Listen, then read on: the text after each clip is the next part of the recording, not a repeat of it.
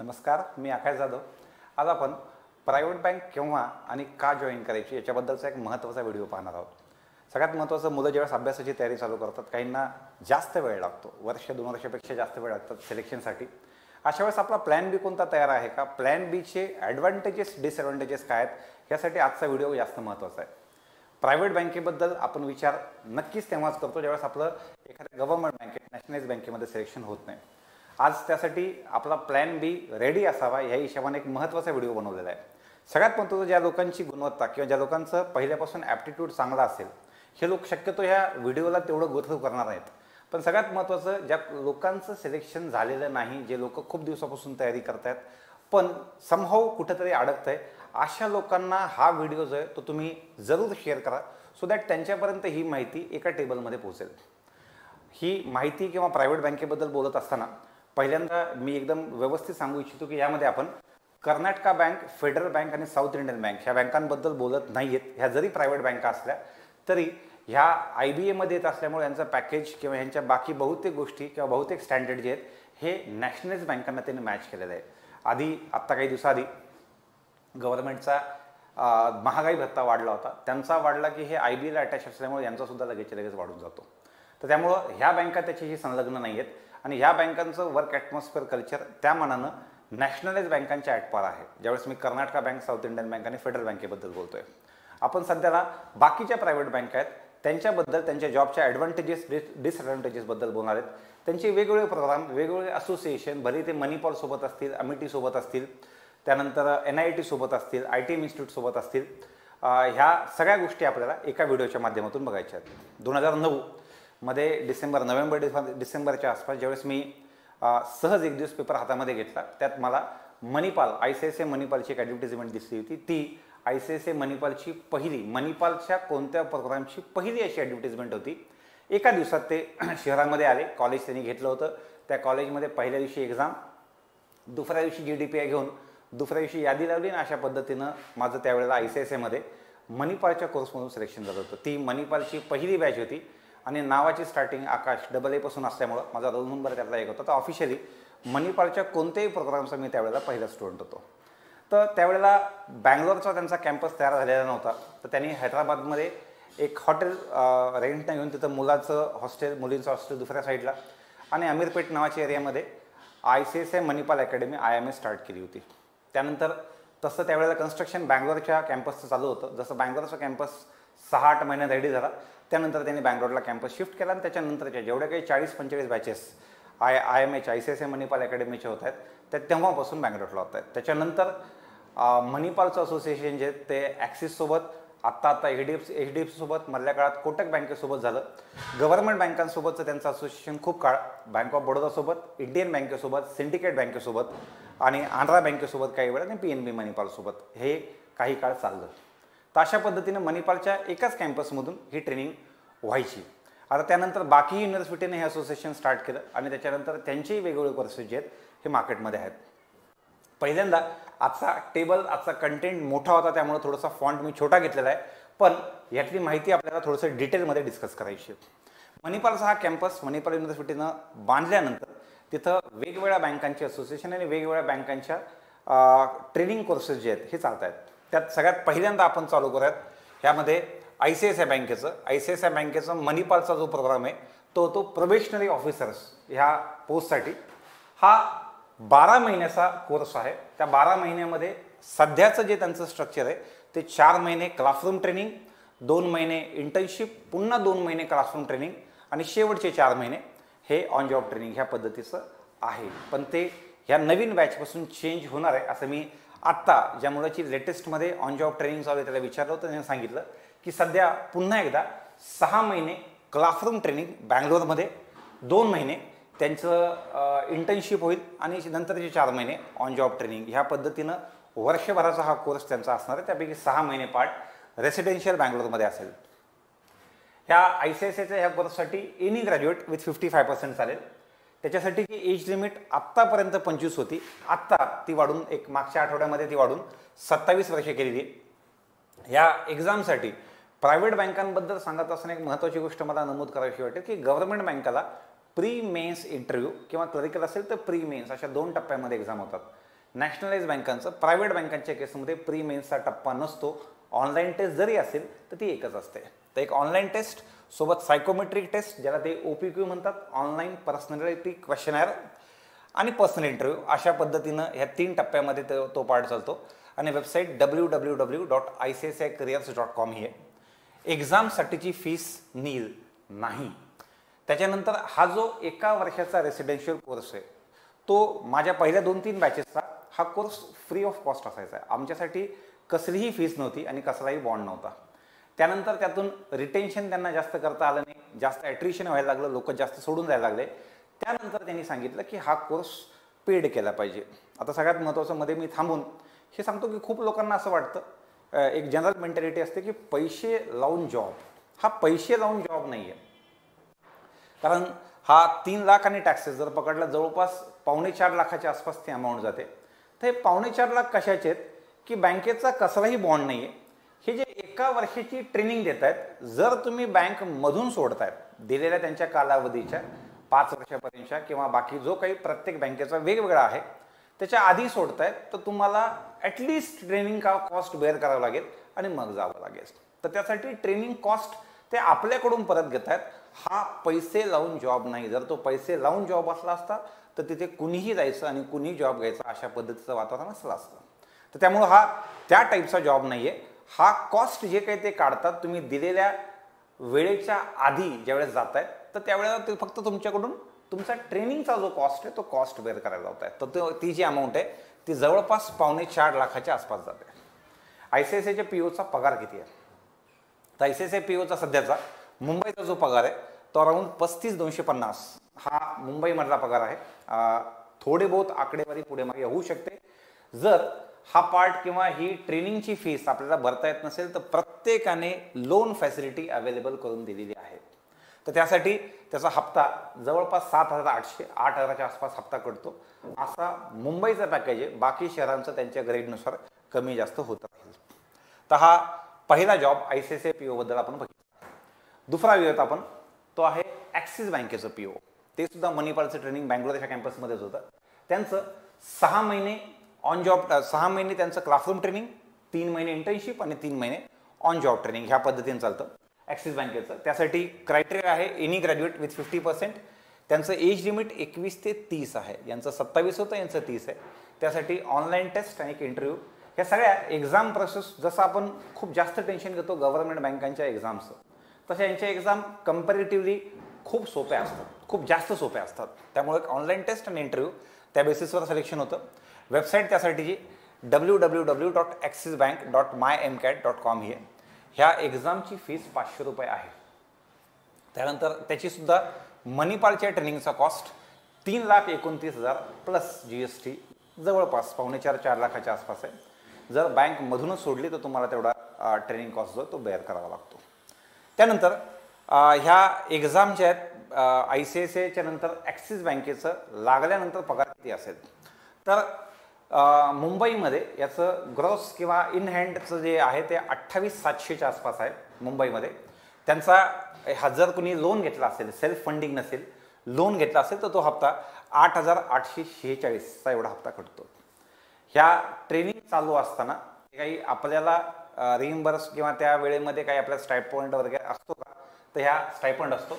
I C S एच्या केसमध्ये तो स्टायपंड पहिले सहा महिने अडीच हजार आणि पुढचे दोन महिने पुन्हा इंटर्नशिप असताना अडीचच आणि त्याच्यानंतर ऑन जॉब ट्रेनिंग असताना दहा हजार असा स्टायपंड आपल्याला चालू असताना प्रति महिना मिळतो.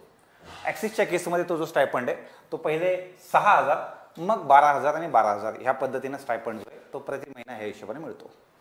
त्यानंतर तिसरा आहे एच डी एफ सी बँकेचा आपण हे जॉब कसे आहेत कुणी करावेत कुणी करू नयेत कधीही डिसिजन घ्यावी की आपण हा जॉब केला पाहिजे की नाही तो आपण शेवटच्या टप्प्यामध्ये पाहणार आहोतच. पहिल्यांदा कोणकोणते जॉब अवेलेबल आहेत ते आपण बघून घेऊया त्यामध्ये एच डी एफ सी बँकेचा पी ओ जो आहे तो आत्ता आत्ता त्यांनी मग आत्ता सप्टेंबर दोन हजार एकोणीसमध्ये हा कोर्स त्यांनी लॉन्च केलेला आहे. त्यांचं मणिपालचं सहा महिने क्लासरूम ट्रेनिंग आणि सहा महिने इंटर्नशिप आणि ऑन जॉब ट्रेनिंग ह्या पद्धतीनं मणिपालचं आहे. Any graduate with fifty five percent हा त्यांचा क्रायटेरिया आहे. एज लिमिट यांची सव्वीस वर्षापर्यंत आहे. ऑनलाईन टेस्ट आणि इंटरव्ह्यू ह्याच पद्धतीने आहे. त्यानंतर त्यांची जी वेबसाईट आहे ती W W W dot future bankers dot my M cat dot com ह्या पद्धतीची आहे. ह्या एक्झामचं ॲप्लिकेशन फीस आहे पाचशे पन्नास. आणि जर तुम्ही सिलेक्ट झालात तर झाल्यानंतर जर सेल्फ फंडिंग करायची असेल तर तुम्हाला तीन लाख तीस हजार plus G S T taxes आहेत. या पद्धतीने तुमची फीस पुन्हा एकदा पावणे चार ते चार ह्या रेंजमध्ये असेल. त्यानंतर सगळ्यात महत्त्वाचं ॲक्सिस बँक ह्या प्रोग्रामला म्हणत असताना यंग बँकर्स प्रोग्राम म्हणते. H D F C bank त्याला म्हणत असताना फ्युचर बँकर म्हणते. दोघांची एक्झाम प्रोसेस वगैरे सेमच आहेत त्या वेबसाईटच्या नावावरून सुद्धा आपल्याला कळालं असेल. रिझन या दोघांचंही कॉन्ट्रॅक्ट कॉन्ट्रॅक्ट जे आहे एक्झाम घेण्याचं हे आस्पायरिंग माइंड्स नावाच्या कंपनीकडे आहे. त्यामुळे दोघांचा जो तुम्हाला यू आर एल आहे तो यू आर एल बऱ्यापैकी सेम दिसत असेल. हा एच डी एफ सी बँकेबद्दल बघ आपण बघितलं. त्यानंतर बंधन बँकेचा पी ओ त्याचं ट्रेनिंग जे आहे ते बँगलोरला किंवा मणिपालमध्ये नाही. कुणागर नावाचं एक इन्स्टिट्यूट आहे. त्याच्यासोबतच त्यांचं ट्रेनिंग आहे. हे कोलकात्याला ट्रेनिंग होतं बंधन बँकेचं. ते नऊ महिने क्लासरूम ट्रेनिंग आणि तीन महिने ऑन जॉब ट्रेनिंग आणि इंटर्नशिप ह्या पद्धतीने चालतं. ट्रेनिंग चालू असताना क्लासरूमचं त्यांचा चार हजार रुपये हा त्यांचा प्रति महिना स्टायपंड असतो. आणि ट्रेनिंगनंतर जो ट्रे ट्रेनिंग क्लासरूमच्या नंतर त्यांचा जेव्हा ऑन जॉब ट्रेनिंग किंवा इंटर्नशिप असतं त्यावेळेला ते दहा हजार रुपये महिना ह्या हिशोबाने देतात. साधारणतः त्यांचा पगार पंचवीस हजार रुपये आहे. आणि मुंबईचा. आणि जवळपास आठ हजाराच्या आसपास जर तुम्ही सेल्फ फंडिंग केलं नाही आणि लोन फॅसिलिटी अवेलेबल करून घेतली तर आठ हजाराच्या आसपास आपला हप्ता कट होतो. बंधन बँकेमध्ये दहावी बारावी आणि ग्रॅज्युएशन ह्या तीनपैकी कोणत्याही दोन वेळेस तुमचं फर्स्ट क्लास लागेल. म्हणजे दहावी बारावीला पण चालेल बारावी ग्रॅज्युएशन पण चालेल आणि दहावी ग्रॅज्युएशनला तीनपैकी दोन वेळेस त्यांना फर्स्ट क्लास लागतं. एज लिमिट एकवीस ते सत्तावीस आहे. एक सोपी ऑनलाईन टेस्ट आणि त्यानंतर इंटरव्ह्यू असा बंधन बँकेचा पार्ट जो आहे तो दिलेला आहे. Website W W W dot Bandhan bank dot com ही आहे. सापडायला जर अवघड जात असेल तर तुम्ही इथे Axis bank young bankers programme टाकायचं H D F C bank future banker टाकायचं आणि Bandhan bank next gen banker programme असं टाकलं तर तुम्हाला ॲप्लिकेशनची लिंक जागर दिसेल. ह्या पहिल्या चार ॲडव्हर्टिजमेंटपैकी पहिली म्हणजे I C I C I bank आणि बंधन बँक यांची ॲडव्हर्टिजमेंट तुम्हाला फ्री ऑफ कॉस्ट आहे. त्या ॲडव्हर्टिजमेंटला अप्लाय करायला कैसे कसलेही पैसे लागत नाहीत. बारा किंवा तेरा ऑक्टोबर हे ॲक्सिस बँकेच्या याला अप्लाय करायची शेवटची तारीख आहे. पुढे आर बी एल बँकेनं हा प्रोग्राम लॉन्च केलेला आहे. सध्या तो ॲक्टिव्ह आहे नाही आहे याबद्दलची आयडिया नाही आहे पण वेबसाईटवर तो दिलेला आहे. मणिपाल सहा महिने प्लस सहा महिने ह्या पद्धतीने चालतो. Any graduate with sixty percent age limit अठ्ठावीसशे. त्यासाठी online test psychometric G D P I ह्या पद्धतीने चालतं. Website W W W dot R B L bank dot com Ratnakar bank जी आहे. ती. त्यासाठी ॲप्लिकेशनचा कॉस्ट कसलाच नाही आहे पुन्हा त्यांच्यासुद्धा ट्रेनिंगचा कॉस्ट तीन लाख तीस हजार आणि प्लस टॅक्सेस या पद्धतीने आहे. त्याच्यानंतर हे झाले मणिपाल किंवा तत्सम रिलेटेड कोर्सेस मणिपालच्या शिवाय अजून काही कोर्सेस बाकी बँका रन करतात का? तर हो I C I C I बँकेचा एन आय आय टीचा एक कोर्स चालतो. जो एन आय आय टीचा कोर्स साधारणत आत्ताच म्हणजे आजच्या माहितीनुसार तो साडेचार महिन्याचा आहे. पहिल्यांदा सहा महिन्याचा असायचा. दीड महिन्याचं त्यांचं क्लासरूम ट्रेनिंग आणि तीन महिन्याची इंटर्नशिप अशा पद्धतीनं सिनियर ऑफिसर या पोस्टसाठी आहे. ह्या I C I C I बँकेच्या बँकेच्या एन आय टी कोर्ससाठी दहावी बारावी आणि ग्रॅज्युएशन तिघांमध्ये पन्नास टक्क्यापेक्षा जास्त आपल्याला मार्क पड पडले पाहिजेत. एकोणास ते पंचवीस एज लिमिट आहे. एक ऑनलाईन टेस्ट होते मग सायकोमेट्रिक टेस्ट छोटासा एस ए लिहिण्याचा प्रॅक्टिस आणि त्याच्यानंतर एक व्हिडिओ कॉलवर इंटरव्ह्यू टाईपमध्ये त्यांचा सिलेक्शन प्रोसेस आहे. त्यासाठी जे वेबसाईट आपल्याला W W W dot N I T dot com ॲप्लिकेशनची फीस पाचशे आणि हा कोर्स कंप्लीट करण्यासाठी ऐंशी हजार प्लस जी एस टी या पद्धतीनं एन आय टीची फीस आहे. त्याच्यासाठी मिळणारा पगार पंधरा ते अठरा हजार असा आहे. आणि त्यापैकी साधारणतः ज्यावेळेस तुमचं इंटर्नशिप चालू असते त्यावेळेस त्या तीन महिन्यामध्ये आठ हजार रुपये महिना या पद्धतीने तुम्हाला स्टायपंड मिळत असतो. त्याच्यानंतर शेवटचा जो पार्ट येतो तो आहे I C I C I बँकेचा. I C I C I बँकेचा एक सेल्स ऑफिसर नावाचा वेगळा कोर्स आहे. जो कोर्स तीन वेगवेगळ्या अकॅडमी आहेत. आय टी एम एज्युटेक टी व्ही एस ट्रेनिंग आणि आय एफ बी आय अशा पद्धतीने तीन इन्स्टिट्यूट चालवतात. I C I C I बँकेचा सेल्स ऑफिसरचा एनी ग्रॅज्युएट ज्याच्यामध्ये इंजिनियर्स ॲग्रिकल्चर आणि M B A not allowed आहेत. या स्पेसिफिक पोस्टला वीस ते सव्वीस इयर ज्याची एज लिमिट आहे. एक ऑनलाईन टेस्ट इंग्लिश रायटिंग आणि इंटरव्ह्यू अशा पद्धतीने तो होतो. ॲप्लिकेशनची फीस नाही आहे आणि बारा हजार पाचशे त्यांची पंधरा दिवसाची एक महिन्याची ट्रेनिंग आहे. त्यासाठी बारा हजार पाचशे प्लस टॅक्सेस अशा पद्धतीने त्याची फीस आहे. ह्याच्यासाठी मिळणारं पॅकेज जे ते चौदा ते पंधरा हजार रुपये पर महिना ह्या पद्धतीने मिळतं आहे ह्या वेगवेगळ्या एक्झामबद्दल आपण माहिती बघितली. सगळ्यात महत्त्वाचं सध्या ह्या घडीला ज्यावेळेस बेरोजगारी एवढी वाढलेली असताना ह्या एक्झाम्स त्या दृष्टीने कधी महत्त्वाच्या नव्हत्या किंवा कमी महत्त्वाच्या होत्या. पण ज्यावेळेस बाकी ठिकाणच्या नोकरीच्या ऑपॉर्च्युनिटीज कमी होत आहेत तेवढा हे जॉब आपल्याला मधल्या काळामध्ये एक स्टेपिंग स्टोन आपल्या करिअरसाठी म्हणून आपण त्याला वापरू शकतो. की मधल्या काळात काही काळ आपण नोकरी केली आणि त्याच्यानंतर आपण पुढचा टप्पा आयुष्यातला गाठला. ह्यासाठी आपण त्याला बघू शकतो. मागच्या दहा वर्षाच्या काळामध्ये मी कितीतरी असे विद्यार्थी बघितले ज्यांनी स्टार्ट करताना प्रायव्हेट बँकेपासून केलं आणि त्याच्यानंतर एक झेप घेत घेत घेत पुढे ते हळूच गव्हर्नमेंट बँकेमध्ये आले. त्यांनी मधल्या काळात आपला अभ्यास कंटिन्यू ठेवला. आता नेमका हा पार्ट करत असताना किंवा हा पार्ट पाहत असताना ह्यांचे जॉब रोल्स काय काय आहेत आपण ते बघूयात. जॉब रोलमध्ये जवळपास सगळ्या post except I C I C I बँकेचा हा एन आय टीचा कोर्स एन आय टीचा कोर्स सोडला तर बाकी सगळ्या जॉबमध्ये सेल्स आणि मार्केटिंगचा पार्ट येतो. त्यामुळं आपण खूप वेळेस अपेक्षा घेऊन जातो की माझा जॉब दहा ते पाच असला पाहिजे. त्याच्यानंतरचा पार्ट माझा सोपा असला पाहिजे. इनफॅक्ट माझाही आय सी एस एचा जॉब आता प्रत्येकाचे एक्सपिरियन्स त्यामध्ये पुढे मागे होतात. खूप वेळेस तो जॉब सुरू होण्याच्या आधी आपण त्याबद्दल एक निगेटिव्ह इमेज तयार करून ठेवतो. पण कधीही वर्षभराच्या दोन वर्षाच्या काळामध्ये मी ज्यावेळेस तिथे होतो त्यावेळेला मुंबईला बी के सीमध्ये असताना माझं डिपार्टमेंट ट्रेजरी होतं आय सी एस आयमध्ये सिलेक्शन झाल्यानंतर. आणि ट्रेजरीमध्ये ग्लोबल मार्केट्स ग्रुप नावाचा एक ग्रुप होता ज्याच्यामध्ये ट्रेजरीला इंटरबँक डील्स चालायच्या. तर त्या डिपार्टमेंटला काम करत असताना आमचं working five days a week होतं.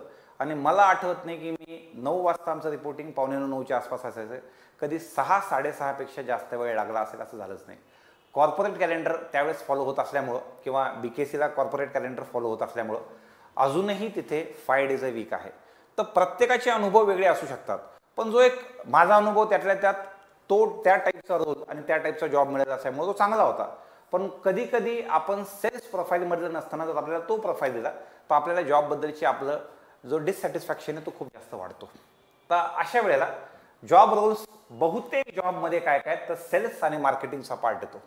सेल्स आणि मार्केटिंगचा कोणता पार्ट येतो? तो लाईफ इन्शुरन्स असू शकतो तो जनरल इन्शुरन्स असू शकतो तो हेल्थ इन्शुरन्स असू शकतो डीमॅट आहे म्युच्युअल फंड आहे कासा जो करंट अकाउंट सेव्हिंग अकाउंट जो आहे तो पार्ट येऊ शकतो. त्याच्यानंतर टर्म डिपॉझिट म्हणजेच एफ डी त्यानंतर रिकरिंग डिपॉझिट आहे क्रेडिट कार्ड गव्हर्नमेंटच्या स्कीम्स हा कोणताही पार्टमध्ये येऊ शकतो.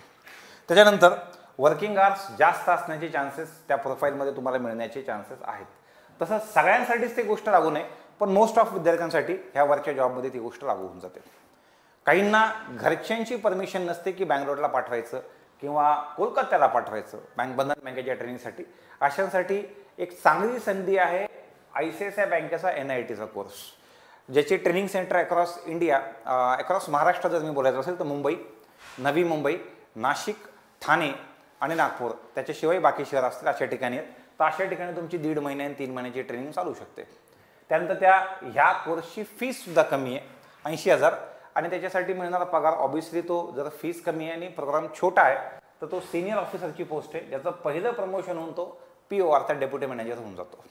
तर त्यामुळं त्याची एक पोस्ट खाली असल्यामुळं त्याचा इन हँड पगार पंधरा ते अठरा हजाराच्या आसपास आहे पण त्या केसमध्ये ह्या पोस्टसाठी ऑपरेशनचा पार्ट जास्त आणि सेल्सचा पार्ट कमी आहे. बाकी सगळ्या बँक्स आणि सगळ्या पोस्ट आणि सगळ्या प्रोफाईल याच्यामध्ये सेल्सचा पार्ट कमी अधिक प्रमाणामध्ये आलाच तर हा जॉब रोल आणि रिलेटेड पार्ट मी एकदम स्पष्टपणे सांगून दिला. आता ज्यावेळेस ती एखाद्या बँकेचे निकाल लागतात मागे I C I C I बँकेच्या आता एक्झाम होऊन झाल्या त्यांचे जी डी पी आय झाले. त्यावेळेला मुलांनी हा विचार करावा सगळ्यात महत्त्वाचं की आपलं स्वतःचं डिसिजन पाहिजे की बँक जॉईन करायची की करायची नाही. हे जॉईन करायची किंवा नाही करायची यासाठीचे काही पॅरामीटर्स जे आपण डिस्कस करूया ज्याच्यामध्ये who should think of private bank की आपण प्रायव्हेट बँक जॉईन करावी हे कुणी विचार करावा? पहिला पॉईंट आहे की preparing for bank exam since one and half two two year but didn't crack free खूप वेळेस आपण काही मुलं असं पाहतो की समभाव एक दीड वर्षापासून दोन सॉरी दीड दोन वर्षापासून तयारी करतात पण अशा केसमध्ये त्यांना तयारी करत असताना प्री सुद्धा निघत नाहीये. कुठंतरी चुकत असतं एक तर प्रिपरेशन स्ट्रॅटेजी चुकते घरच्या साईडनं फोर्स जास्त असतो. थोडासा इमोशनली इम्बॅलन्स्ड असतात. कधी कधी प्रिपरेशनमध्ये गॅप जास्त असतात. अशा वेळा दीड दोन वर्ष झाले पण अजूनही प्री निघत नाही आहे तर अशा वेळेला आपण तो विचार करू शकतो. दुसरं वीक फायनान्शियल कंडिशन कधी कधी घरच्या साईडनं सपोर्ट करायला कुणी नसतं. ह्या एक्झाम द्यायच्या असतील वर्षभर वेळ द्यायचा असतील तर घरचे वाट पाहतात. नंतर त्यांच्या साईडनं थोडासा फोर्स चालू होतो की लवकरात लवकर काहीतरी पहा. तर अशा वेळेला ज्यावेळेस घरच्या साईडनं थोडासा फोर्स आहे की काही ना काही केलं पाहिजे काही ना काही पाहिलं पाहिजे अशा वेळेस आपण जॉबचा विचार केला पाहिजे. त्याच्यानंतर ready to serve across India की पोस्टिंग कुठेही मिळवतो आता खूप वेळेस ह्या एक्झाम देत असताना ह्या बँकांमध्ये सिलेक्शन होत असताना महाराष्ट्राचा टक्का त्यातला चांगला आहे. तर सगळ्यांनाच महाराष्ट्र मिळत नाही. त्यामध्ये पाच दहा टक्का टक्के क्राऊड असा असतो ज्यांना महाराष्ट्राच्या बाहेर जावं लागतो. तर अशा वेळेला आपली मेंटॅलिटी ती पण पाहिजे की बाहेर जाऊनही मला काम करावं लागू शकतो. ते माझ्या जिल्ह्याच्या बाहेर असेल किंवा एखाद्या वेळेस ते माझ्या राज्याच्या बाहेर असू शकतं. तर ती सुद्धा मेंटॅलिटी आपल्याला आधीच बनवायची आहे. त्यानंतर आपापल्या इंटरनल फॅमिली सिच्युएशन बघून की आपल्यावर रेस्पॉन्सिबिलिटी काय? माझ्यानंतर आई वडिलांवर रेस्पॉन्सिबिलिटी काय? मुलींच्या केसमध्ये आता जर मी ह्या जॉब जॉईन नाही केला तर याच्यानंतर घरातले लोक लग्न किती दिवसामध्ये लावून देतील? त्याच्यानंतर तयारी करण्याची मुभा आहे नाही आहे हे सगळे फॅक्टर त्याच्यामध्ये येतात. जर तर त्यामुळे मी आधीच सांगितलं की ह्या जॉबला तुम्ही एक स्टेपिंग स्टोन म्हणून बघू शकता. तर त्यासाठी हा दुसरा पॉईंट झाला. ह्या सगळ्या गोष्टींचा आपल्याला विचार करायचा आहे. त्यानंतर अशाच लोकांनी जॉईन करायचं जे स्ट्रेस आणि प्रेशर व्यवस्थित ॲब्झॉर्ब करू शकतात. त्याच्यानंतर ज्यांचं एज एकवीस बावीस तेवीस आहे आणि ज्यांना घरच्यांना सांगितलं की अजून वर्षभर तयारी करा मी त्यांना सांगणार नाही की तुम्ही जॉईन करा. ज्यांचं एज एकदम टोकाला गेलेलं आहे जवळपास सव्वीस सत्तावीस अठ्ठावीसच्या आसपास गेलेलं आहे अशा वेळेला विचार करायला हरकत नाही. पण टिपिकल एकवीस बावीस तेवीस वय आहे कसलीही रिस्पॉन्सिबिलिटी नाही. घरचे वर्षभर तयारी करू द्यायला वेळ आहे तर अशा वेळेला जॉईन करायची बिलकुल आवश्यकता नाही. आपापलं प्रिपरेशन पुढे कंटिन्यू ठेवायचं. पुढे जागा निघतील का? निघणार नाहीत असं कधी होत नाही. कंटिन्युअस काही ना काही कोणत्या ना कोणत्या ॲडव्हर्टिजमेंट चालू असतात. आपलं प्रिपरेशन जर एका स्टेजला चांगला असेल तर तो प्रॉब्लेम आपल्याला येत नाही. त्यानंतर मेंटॅलिटी ऑफ डुईंग सेल्स आणि मार्केटिंग जे डोक्यामध्ये पाहिजे की आपण प्रायव्हेट बँकेला जॉईन करतोय आपल्याला त्यातलं कोणतंही प्रोफाईल मिळो. भले ते व्हॅल्यू बँकर असेल पी बी प्रिव्हिलेज बँकिंग असेल किंवा अजून कोणताही जॉब असेल आपल्याला करण्याची किंवा सेल्स मार्केटिंगवाला पार्ट करण्याची वेळ आली तर मी ते करणार. ही मेंटॅलिटी आपल्याला जॉबच्या आधी जी ती बनवायची आहे. तर ह्या वेगवेगळ्या फॅक्टर्सचा विचार आपल्याला हा जॉब जॉईन करायच्या आधी केला तर हा जॉब जास्त अवघड वाटत नाही. आपलं एक्सपेक्टेशन त्या मणिपालच्या ट्रेनिंगमधून एका वेगळ्या पद्धतीनं केलं जातं किंवा आपण ते करून घेतो आणि त्याचा जॉबच्या रिॲलिटी ज्या असतात तो हाच म्हणून नये. तो कोणताही जॉब असेल तर त्यावेळेला आपलं कधी ना कधी डिसअपॉइंटमेंट जे ते होतं. त्याच्यानंतर ह्याच्यामध्ये हा जॉब जॉईन केल्यानंतर खूप लोकांना असं वाटतं की मला गव्हर्नमेंटमध्ये माझी एंट्री थांबेल किंवा बंद होईल तर ती बंद होणार नाही. एकदा आपला ॲप्टिट्यूडचा पार्ट आहे ॲप्टिट्यूडची तयारी जर ही तयारी आपली पहिल्यापासून एका चांगल्या लेवलला झालेली असेल पहिल्यापासून आपण चांगल्या पद्धतीने ते तयारी केली असेल नंतर एक रिव्हिजनसाठी जरी वेळ मिळाला तर आपण तिथे त्या बँगलोरमध्ये थांबून त्या कलकत्त्यामध्ये थांबून आपण तिथले एक्झाम सेंटर देऊन सुद्धा हे एक्झाम सोबत सोबत प्रिपरेशन चालू ठेवू शकतो. हा थोडासा त्यातला प्रायव्हेट ॲडव्हान्टेजवाला पार्ट आपण बघू शकतो. त्यानंतर बँकांमध्ये खूप वेळेस स्केल टूच्या जागा निघतात. स्केल थ्री जसं पी ओची जी पोस्ट आहे ती स्केल वनची पोस्ट आहे नॅशनलाइज बँकांमध्ये स्केल टू स्केल थ्रीच्या पोस्ट निघतात. ग्रामीण बँकांमध्ये स्केल टूची ॲडव्हर्टिजमेंट दरवर्षी येते. ती ॲडव्हर्टिजमेंट असते general banking officer G B ओची त्याच्याशिवाय वेगवेगळ्या ॲडव्हर्टिजमेंट मधल्या काळात कुणी ना कुणी काढतं. मागे आत्ता काही दिवस आधी स्टेट बँक ऑफ इंडियाने काढली. त्याच्या आधी बँक ऑफ बडोदाने काढली होती. त्याच्या आधी विजया बँकेनं काढली होती आणि सध्या पंजाब नॅशनल बँकेनं जे ते एक्सपिरियन्स असलेल्या लोकांसाठी ॲडव्हर्टिजमेंट काढलेली आहे. ह्या ॲडव्हर्टिजमेंट मी वर्षातून पाहतोय. जवळपास स्केल टू स्केल त्याची ॲडव्हर्टिजमेंट तीन चार तीन चार ॲडव्हर्टिजमेंट कमीत कमी जे आहेत ह्या ॲडव्हर्टिजमेंट येत आहेत. ग्रामीण बँकेची स्केल टू दरवर्षी होतेच. पण त्याच्याशिवाय तीन चार ॲडव्हर्टिजमेंट नॅशनल बँकांच्या येतात. तर अशा ठिकाणी कॉम्पिटिशन कमी असते. ग्रामीण बँकाचा तुम्ही कट ऑफ जर चेक केला स्केल टूचा आणि स्केल वनचा त्याच्यामध्ये तुम्हाला मोठा गॅपसुद्धा दिसेल. तर आपल्याला जर अनुभव असेल तर अनुभवाच्या बेसिसवरच्या जेवढे काही पोस्ट आहेत त्या पोस्ट आपण चांगल्या पद्धतीने तिथे क्रॅक करू शकतो. तर आपल्याला स्केल टूच्या एक्झामसाठी चांगलं त्या ठिकाणी आपल्याला प्लॅटफॉर्म जो आहे तो बनून जातो. स्केल टूच्या वेकन्सीज भविष्यामध्ये जास्त निघू शकतात असं मला वाटतं. त्या पाठीमागचं रिझन बँकांमधली मोठी रिक्रुटमेंट जी आहे ती एकोणीसशे ऐंशी पंच्याहत्तर ऐंशीपासून ते जवळपास पंच्याऐंशी नव्वदपर्यंत चालली. मधल्या काळात रिक्रुटमेंट होती बी एस आर बीचं जे जुनं बोर्ड होतं जुन्या काळाचं आय बी पी एस म्हणजे बँकिंग सर्व्हिसेस रिक्रुटमेंट बोर्ड ते त्यानंतर बंद पडलं त्यानंतर बँकांनी हळूहळू रिक्रुटमेंट चालू ठेवली. पुन्हा दोन हजार नऊ दहा नंतर जसं आय बी पी एस आलं तसं त्याला पीक पकडला आणि ती मोठी रिक्रुटमेंट झाली. पण आपण एवढं पकडू शकतो की एकोणीसशे नव्वदपासून ते दोन हजार दहापर्यंत रिक्रुटमेंट जवळपास थंडावलेली होती. तर आता सध्याला ह्या घडीला आपण एखाद्या बँकेमध्ये नॅशनलाइज बँकेत गेलो तर आपल्याला दोन कॅटेगरीचे लोक दिसतात जास्त करून. एक ज्यांचं वय पन्नाशीपेक्षा पुढचं आहे किंवा दुसरे ज्यांचं वय तिशी पस्तीसशीपेक्षा कमी आहे. एक मधला तो गॅप भरून काढण्यासाठी बँकांना मला असं वाटतं की स्केल टूचे रिक्रुटमेंट जे आहेत हे आगामी काळामध्ये वाढवावं लागतील. तर तिथं हे प्रायव्हेट बँकर जे आहेत हे चांगल्या पद्धतीनं बसतात आणि इंटरव्ह्यूमध्ये त्यांना एक वेगळ्या पद्धतीनं फायदा होतो की हा व्यक्ती एखाद्या प्रायव्हेट बँकेतून काम करून आलेला आहे तर याच्यामध्ये काम करण्याची इच्छा आहे याच्यामध्ये कोणतंही काम करण्याची इच्छा आहे तर अशा पद्धतीने एक ॲडेड ॲडव्हान्टेज प्रायव्हेट बँकेमधून काम करून आल्यानंतर नॅशनल याच्या स्केल टू आणि स्केल थ्रीच्या इंटरव्ह्यूसाठी त्याचा फायदा होतो. तर अशा पद्धतीने विद्यार्थ्यांनी एक व्यवस्थित ह्या गोष्टीचं ॲनालिसिस करायचं आहे की जर माझं प्रायव्हेट बँकेमध्ये सिलेक्शन झालं याच्यामध्ये करताना जवळपास सगळे सेल्फ प्रोफाईल आहेत पण जो एन आय टीचा पार्ट आहे त्याच्यामध्ये सेल्सवाला पार्ट कमी आणि ऑपरेशन्सवाला पार्ट जो आहे तो जास्त आहे. त्यानंतर टार्गेट्स किंवा रिलेटेड गोष्टी ह्या प्रायव्हेट बँक आहे तर सोबतसोबत आल्याच. तर ह्या सगळ्या गोष्टीचा सरासर विचार विद्यार्थ्यांनी करायचा आहे. ह्याच्याशिवाय मी अजून एक महत्त्वाचा व्हिडिओ जो आहे तो लाईफ इन्शुरन्स प्रायव्हेट लाईफ इन्शुरन्सवर बनवणार आहे. अजूनही चांगल्या ऑपॉर्च्युनिटीज प्रायव्हेट लाईफ इन्शुरन्समध्ये ह्या ज्या आहेत त्या एच डी एफ सी लाईफमध्ये त्यानंतर टाटा ए आय लाईफमध्ये एस यू डी लाईफमध्ये ह्या वेगवेगळ्या कंपन्यांमध्ये त्यानंतर चोलामंडलममध्ये ह्याच्यामध्ये इन्शुरन्समध्येही चांगल्या संधी आहेत. पण गोष्ट एकच की त्याच्यामध्ये सेल्सचा कंपोनंट आला. बँकांमध्ये ह्या सेल्स कंपोनंटला इन्सेंटिव्ह हा प्रकार जोडून नसतो. पण इन्शुरन्समध्ये ह्या सेल्स ह्या प्रकाराला इन्सेंटिव्ह हा पार्ट जोडून असतो. त्यामुळं इन्शुरन्सचा पुढचा पार्ट आपल्याला पाहायचा आहे इन्शुरन्सचा पार्ट पाहत असताना बँकांमध्ये तुम्हाला इंडिव्हिज्युअल टार्गेट जास्त दिसेल.